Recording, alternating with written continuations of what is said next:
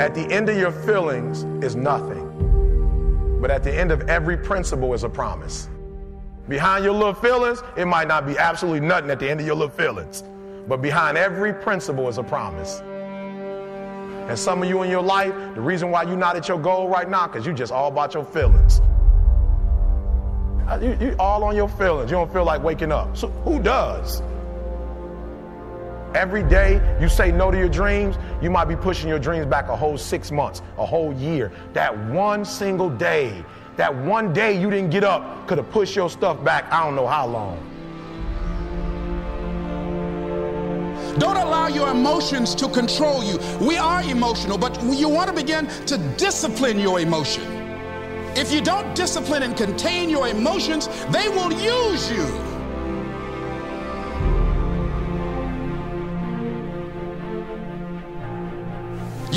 It, and you're going to go all out to have it. It's not going to be easy. When you want to change, it's not easy. If, if it were in fact easy, everybody would do it. But if you're serious, you'll go all out.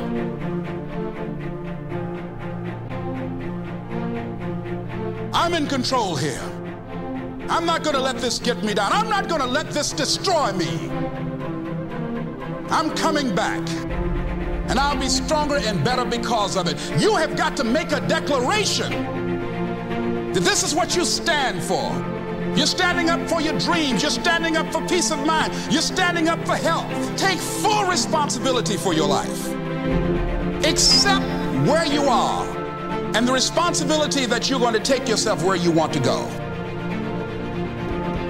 You can decide that I'm going to live each day as if it were my last. Live your life with passion, with some drive. Decide that you're going to push yourself. The last chapter to your life has not been written yet, and it doesn't matter about what happened yesterday. It doesn't matter about what happens to you. What matters is, what are you going to do about it? This year, I will make this goal become a reality. I won't talk about it anymore. I can. I can. I can.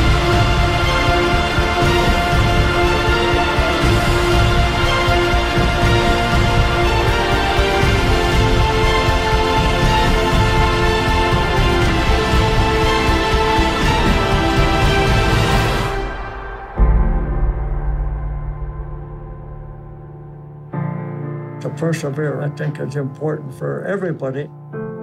Don't give up, don't give in. There's always an answer to everything.